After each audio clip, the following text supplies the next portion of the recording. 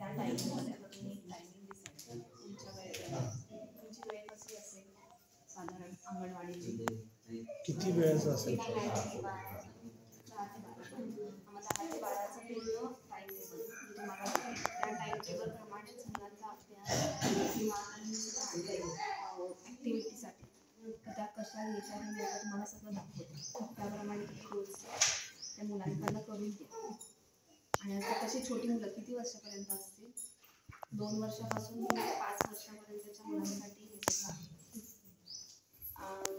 शिकवायला तुम्हाला A B